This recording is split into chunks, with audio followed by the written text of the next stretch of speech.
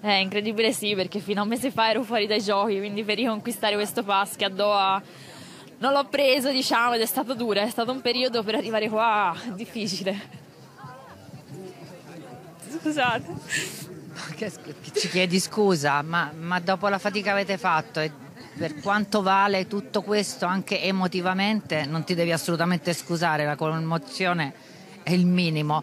Ci hai creduto, tu sei la dimostrazione che bisogna crederci fino alla fine. Hai colto questa qualificazione nell'ultimo momento possibile. Sì, diciamo che come diceva Stefano, non è mai finita fino a che non tocchi il tabellone, quindi anche dopo Doha mi, mi, diceva non è ancora finita, cioè no, una possibilità, però diciamo che il 1500 non era proprio nelle mie corde, quindi era una cosa abbastanza impossibile.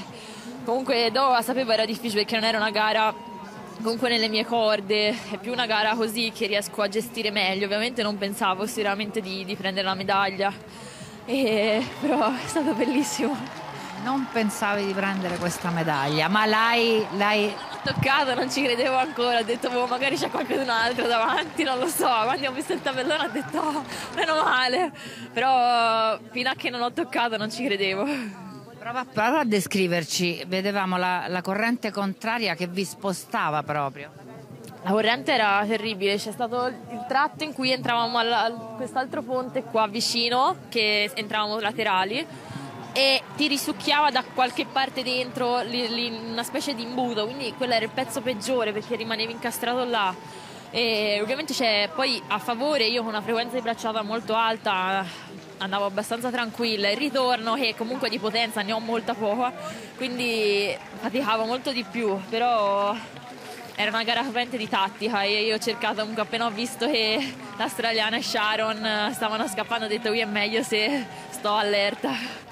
Sei stata allerta, sei stata brava, non l'hai mai mollata, sei stata sulle sue caviglie per tutta la gara. No, ho cercato all'ultimo giro magari a di dire a, a Moesh, ho detto cerchiamo di staccare ancora e se siamo noi tre cerchiamo di aumentare il divario. Quindi ho provato un pochino a mettermi davanti ma ero cotta, ho detto resisti, cerca di stare con loro e cerca di finirla così. Che valore ha questa medaglia? Ecco, crederci sempre e poi? Eh, non me l'aspettavo, diciamo che il mio allenatore sicuramente era quello che ci credeva di più. È stato mesi difficili con lui perché dopo Doha è stato, è stato dura, diciamo anche l'allenatore venirmi incontro è stata dura per lui, però devo ringraziare sicuramente Matteo, il mio fidanzato, che mi è stato vicino in questi mesi come nessuno mi è mai stato vicino e se sono qui è sicuramente grazie a lui comunque. E molto grazie a te, a quanto ci hai messo dentro a tutto, anche all'allenamento, all'impegno e a questo fatto di non perderti d'animo.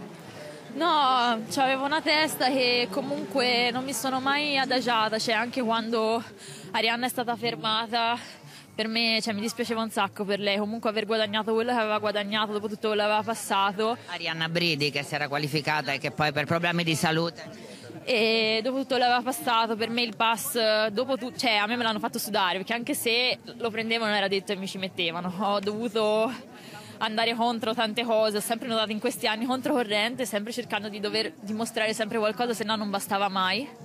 E, però ho voluto continuare così fino alla fine. A me il pass di Arianna non mi importava per me era suo potevano portare chiunque altro e se c'era un altro modo per guadagnarmene me lo sarei voluto guadagnare e così ho fatto.